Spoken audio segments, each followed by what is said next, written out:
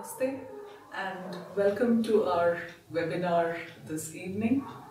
Our topic today is uh, immortality and uh, it's a fascinating topic, uh, something that we all think about. But before we go deeper into the topic, let us take five minutes to just center ourselves from the busy Monday we would have had in office or at work and focus the divine power that is running within us. So let's all inhale and tense the whole body and exhale and relax. Let's do this two more times at your own pace. Inhale, tense and relax. And one last time. Inhale and tense and relax. Let's practice three rounds of triangular breathing. Inhale to the count of eight, hold to the count of eight, and exhale to the count of eight. I'll count for you. Inhale.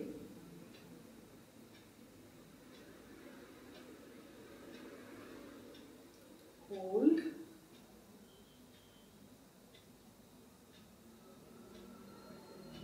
And exhale.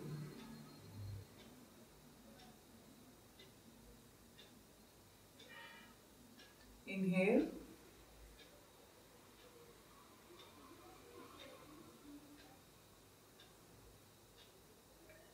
Hold.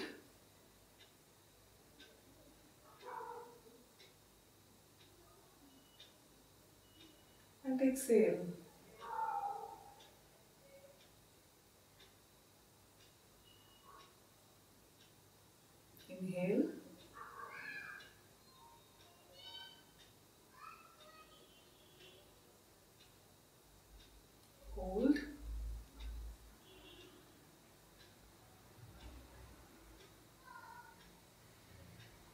And exhale.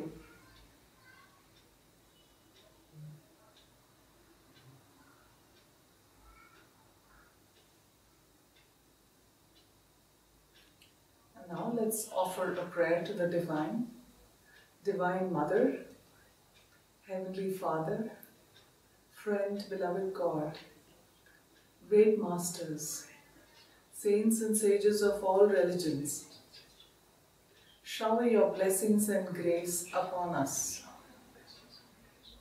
that we may be able to resurrect our souls into Thee. Om. We'll now do a short meditation for two minutes.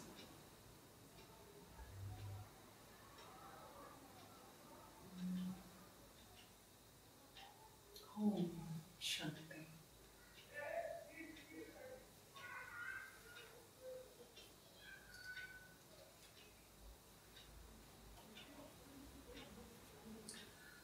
I'd like to read to you from the book Affirmations for Self Healing.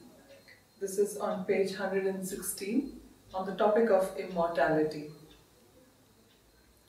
You are not your body, you are not your thoughts, your desires, your changing personality. Your body has a certain age, but you, yourself, have no age. Your body may tire or become unwell, but you yourself, the fatigueless soul, cannot tire, can never know disease. Tell yourself always, I'm a child of eternity. Don't be identified with outward form, nor with change, but live in timelessness. It is our identity with change that creates the illusion of passing time. Feel that through all outward changes, you, the immortal soul, remain the same. Death itself will be what one more change. Be not identified with it. Then, when death comes, you shall rise in eternal freedom.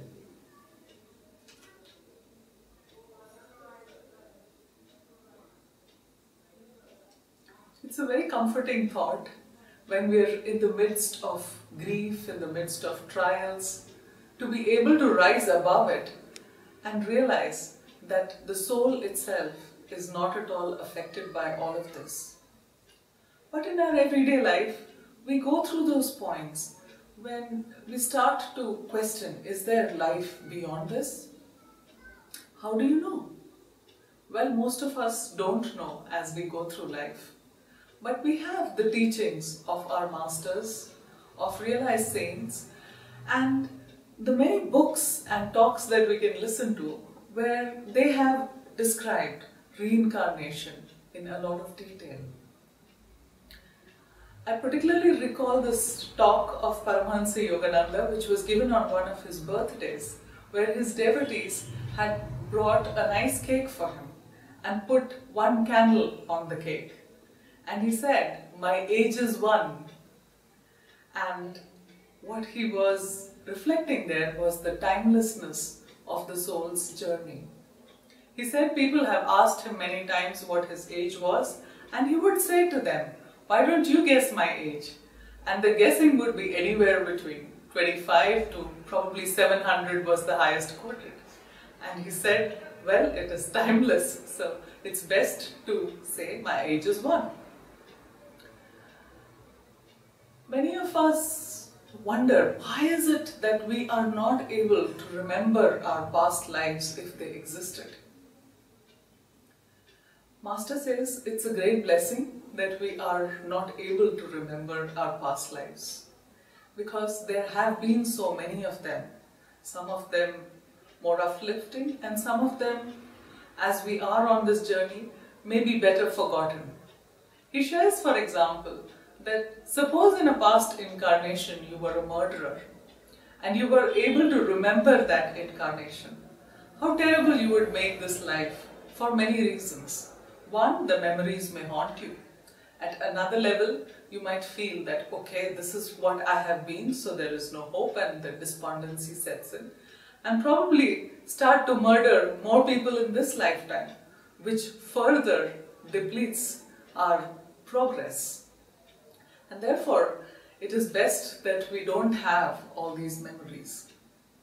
There are certain situations in which we know of people who go for a past life reading. It's good to go through that, but not just for the sake of curiosity, but only if there is something that is debilitatingly affecting us in this lifetime, like a particular condition in the body or a state of the mind where there is restlessness and, and probably this is the only way. But it is best avoided to go back into those past lives. Because, like we heard in the reading, it is changeless times that we need to identify with and not all those past incarnations that we feel to hold to. The law of karma has a great role to play in the incarnations that we have. And therefore, I think it is very pertinent to narrate a little story that Master shared to help us remember what happens when we hold on to dear life or dear lifetime. There is the story of a man he shared who was very wealthy, but he had a lot of challenges on the health front. And towards the end of his life, the angel came to him and asked, What is your desire at this point?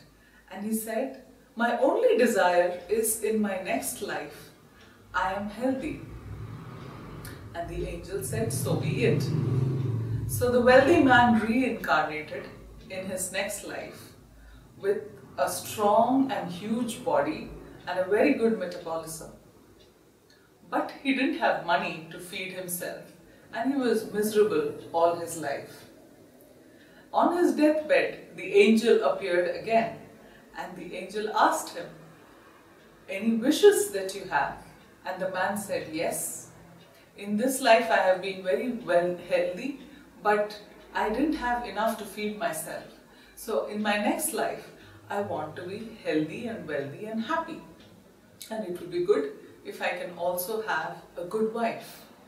So in his next life, he had all the three desires fulfilled. He was healthy, he was wealthy, and he had a beautiful wife. But his wife passed away. As he, uh, still he was a young man, and he grieved for most of that lifetime for his wife who departed before him.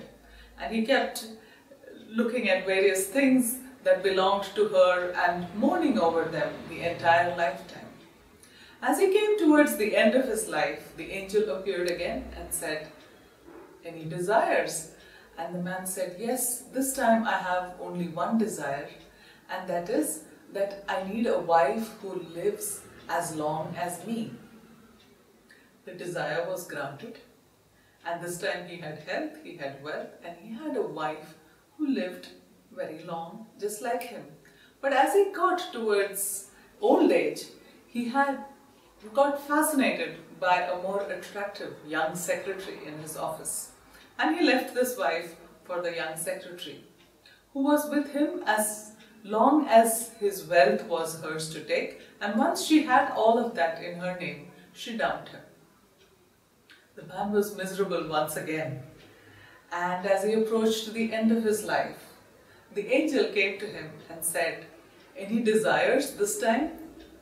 And the man said, No, no more desires. I want only God. I want only to rest in Him. It took us all years of lifetimes to get where we are. But we look at our lives at this point. What do we end up doing? A lot of times we're stuck with the difficulties in our life, whether it is the illness of ourselves or a loved one, or the little more money that we wanted, or that bigger house that we were looking for, or something or the other, the child who is not perfect we end up identifying with these limitations and we forget that all of this is a drama on the stage of life. Master in one of his articles shares this beautifully where he says it's all a large divine movie and all the actors have their roles to play. And they play the role and at the end of it they leave the costume, leave the body and go back and come back to adorn another role. The game is, are we able to perfect the role that we are given to play? Or do we just identify with the limitations of the costume, of this body, and just worry and wail about what is not with us? There's a beautiful explanation that Paramahansa Yogananda shares towards the end of this article where he says, you have to play this role again and again till you perfect it. And then God says to you, come take the box seat of immortality and watch the drama of life. It is the box seat of immortality that we all aim to get to and that is when perfection is achieved. But the trials and tribulations on the way are many it is so difficult to just in this lifetime not create more karma. That is the challenge of the devotee on the spiritual path. We have so many attachments, we have so many distractions that are calling to us time and again. The other thought that often thoughts our mind is what will happen to all the good things? Will I lose this? Well, the comfort is the saints and masters have promised that nothing is ever lost on the spiritual path. You always build from where you left things. So, why waste time? Why identify with our deficiencies or moods or things that may have come to us from the past incarnation? As soon as we are able to raise our consciousness and be on the expressway, everything falls away and God and gurus come to our rescue and see us through this trial. I would now like to, for all of you to join me in the affirmation on immortality. But before we do that, let us just take a pause, center ourselves, be in the meditative posture, and gently close your eyes and raise your gaze to the point between the eyebrows.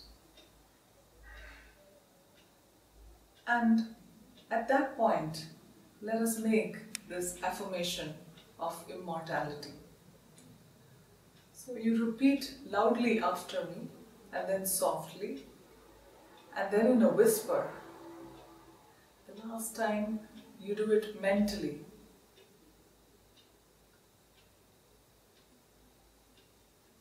So the affirmation goes like this I am a child of eternity.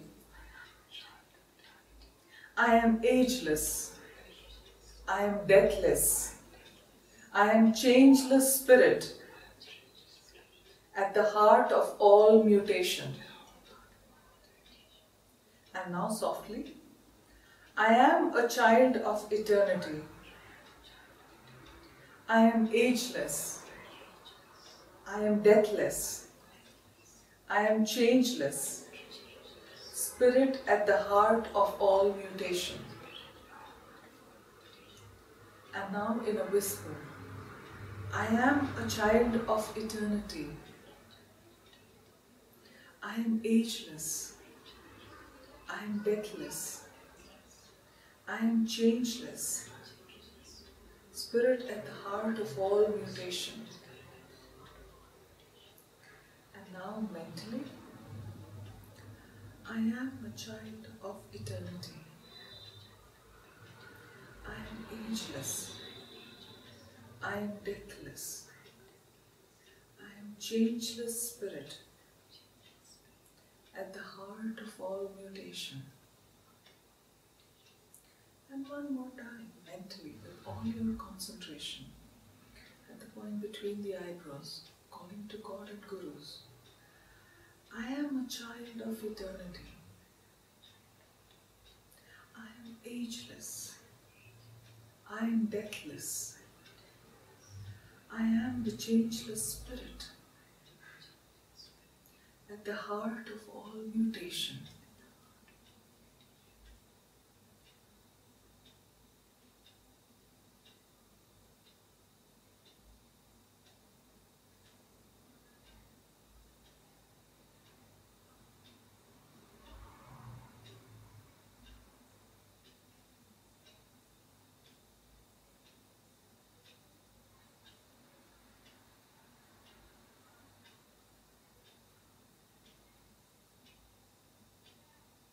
Let's offer a prayer.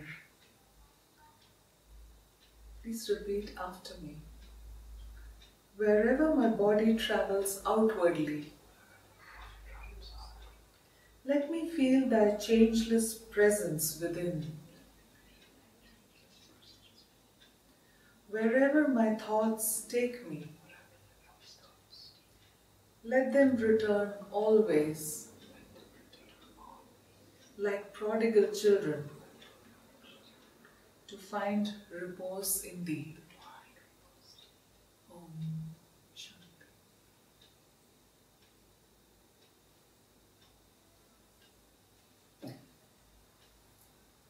So, as we look at this journey of immortality, we always think about what is it that we can do as individuals in this lifetime.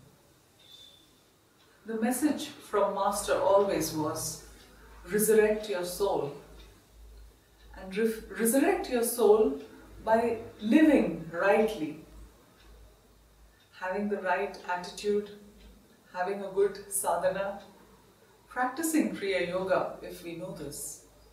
These ancient techniques help us get past incarnations and burn the seeds of karma much, much faster.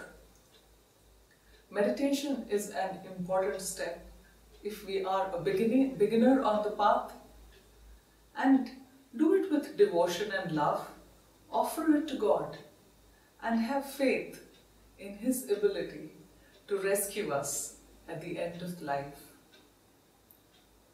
I would like to close with a reading. This is from the book How to Achieve Glowing Health and Vitality. And in this, Paramahansa Yogananda shares You are immortal. Resurrect your soul from the dreams of frailty. Resurrect your soul in eternal wisdom. What is the method? Relaxation, self control, right diet, right fortitude, undaunted attitude of the mind. Refuse to be defeated. Don't acknowledge defeat. To acknowledge defeat is greater defeat. You have unlimited power. You must cultivate that power. That is all. Meditation is the greatest way of resurrecting your soul from the bondage of body and all your trials. Meditation. Meditate at the feet of the infinite. Learn to saturate yourself with Him. Your trials may be great, but the greatest enemy of yourself is yourself. You are immortal. Your trials are mortal. They are changeable. You are unchangeable. You can unleash the eternal powers and shatter your trials. There is so much power that God has given to us as intelligent incarnations. There is free will, and that is how, as human beings, we are different from the lower forms of life. Free will to seek God or to go away from God. And it is the world of duality that we live in. For every high, there is a low. For every happiness, there is a sadness. But there is still that inner stillness and the ever changeless soul that helps us cope with all of this. The moment we detach ourselves and see this whole drama from a distance, resting in God, everything becomes easier. And we surrender ourselves to God. And He comes and says, I will take you to the shores of infinity, to the home of the Father. And that is the divine promise that every devotee has. Where Paramahansa Yogananda said, At the end of your life, I or one of the masters will come and take you. That is such an eternal promise. And all we have to do, if we were to look at it very simplistically, is to live our lives rightly and not worry about what's happened in the past or be anxious about what comes to us in the future. Live in God and rest in God and remember that we are all immortal souls. That's all we are. And that is the memory and the only memory we want to live with. Om.